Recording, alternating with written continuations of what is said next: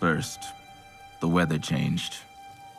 The deniers knew why, but they still doomed us with their lies.